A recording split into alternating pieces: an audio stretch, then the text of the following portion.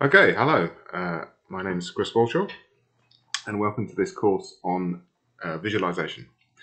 So, in today's lecture, I'm going to do a, an introduction. Uh, we're going to look at a quick um, set of examples from visualization. So, what is visualization? Why do we visualize? Um, what does it involve? And some examples. And then we'll do a, preliminary data exploration of a company's sales data. It's a fictional company, but uh, it's sort of kind of set up to be fairly realistic. And we'll look at how we how we manipulate the data to get um, to get decent visualizations out of it. Okay, uh, and they may look like this or like this. You can see that the first one has a lot of noise and the second one's a bit cleaner. So we'll we'll see as we go through the course how we can improve on our uh, visualizations. So the first question is, what is information visualization or data visualization? Uh, if you ask Wikipedia, it says it's the study of visual representations of abstract data to reinforce human cognition. Or data visualization is the visual representation and presentation of data to facilitate understanding. That's from a book by a, a guy called Andy Kirk. Good book. Uh, recommend it. Um, and you'll see it already. We've got two terms: data visualization, information visualization. They they tend to be used interchangeably. Okay, so uh, I may use either. Um, I apologize for that, but I, I, don't tend to distinguish in between them. But strictly speaking, information visualization also co covers things uh, like mind map, so knowledge visualization. So data is a bit bit more focused on the actual the numbers that we're trying to visualize. Uh, and we're going to focus on that ourselves, actually. We're focused on, on the data visualization on the side of, of taking a set of numbers and, and trying to make sense of them.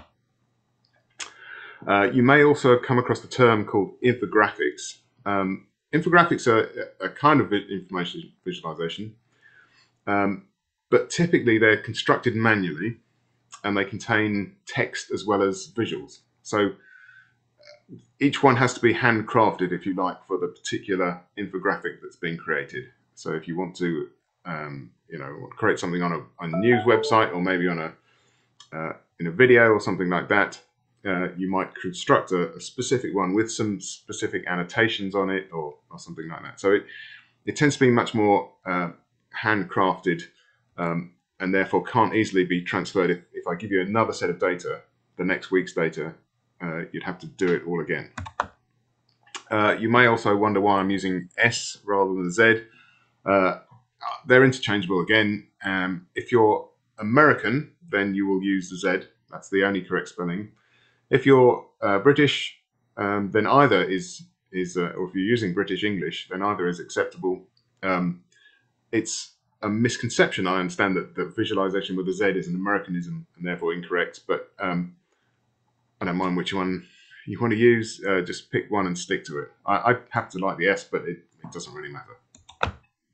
Okay, what does it involve? Well, uh, typically it involves some sort of exploration and or explanation stroke presentation of the data. So you sometimes come across these terms exploration versus explanation.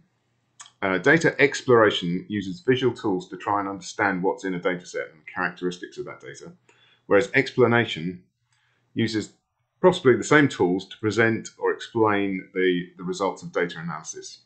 And usually that will follow on after exploration. So typically, if you've got some data, you don't know anything about it, you might first do an exploration to try and make sense of it, to try and understand it. Uh, and then you might want to present that to somebody. So you would uh, work on explanation. So you, you select maybe a set of charts from your exploration, and that would represent your explanation of the data. Okay, we're going to focus on exploration. We're going to assume we don't know anything about the data. It's just a bunch of numbers, and uh, we'll try and figure out what those numbers mean.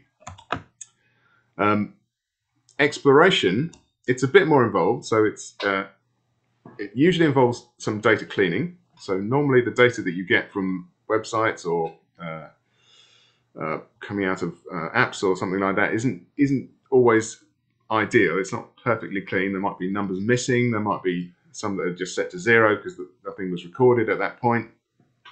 So usually there's some data cleaning.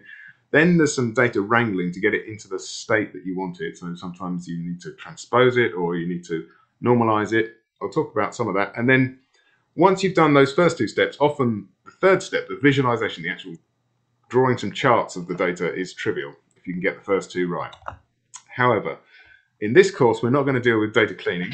Uh, it's, a, it's a really important task, but we don't really have time to cover it.